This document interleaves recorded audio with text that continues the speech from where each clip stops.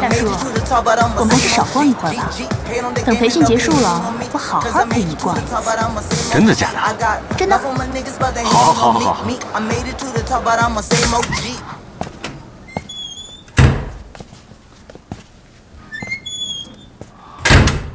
啊，真不想跟你一组。我还不想跟你一组呢。哎呀，你俩行不行啊？既然被分到了一组，就应该一致对外，放下你们的争执，行不行啊，巨雄？只能这样喽。你的白纱。嗯。想想现在怎么办吧。咱们几个太熟了，隔着一百米就能闻出对方的味道，所以我觉得还是应该等神秘杀手亲自现身。你想得美！前两组那是有秦升和柳沙，这一次咱们可难了。嗯，怎么办？哎，有了，还有一个办法，声东击西，你们两个负责吸引，我找机会下手。凭什么我俩当诱饵啊？因为你块头大呀，目标明显。粉红帽的特长又不是身手，当刺客的最佳选择就是我。哎呀，好了好了，我觉得这些办法都不太合适，太常规了。他们一定有所准备，只要被发现，咱们就算输了，连应聘的可能都没有。那我们有什么办法？哎，有了，但是规则里没说。不能借刀杀人吧？可以啊，粉红豹。没想到你外表是萝莉，内心是魔鬼啊！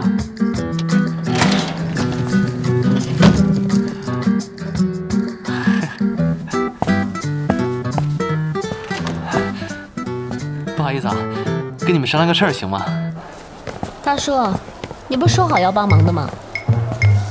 流沙跟我说。得绕着商场转三圈，进三家店，我哪敢得罪他呀？那咱们就走快点吧。好。不太对劲儿啊，怎么了？我们已经逛了两圈了，梁大卫和巨亮不是那种耐得住性子的人。那有什么奇怪的？他们在等着神秘杀手动手呢。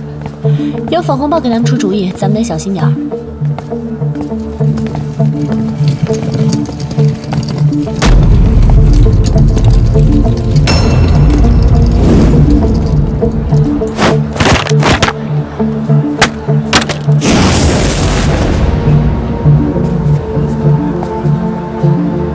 有病啊！往客人身上扔东西，还想不想干了？回去。哎呀，不好意思，不好意思，不好意思。小伙子，你误会了，这是我们有意安排的训练科目，跟你们经理打过招呼，不怨他们。误会啊，误会。喂。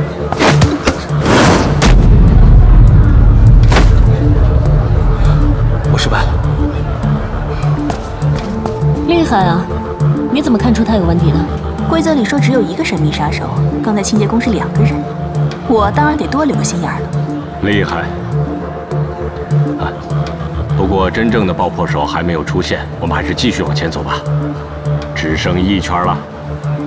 这些人肯定都是破坏组过来的，大家要小心。他们过来的人我们都不认识，所以他们肯定还藏在附近。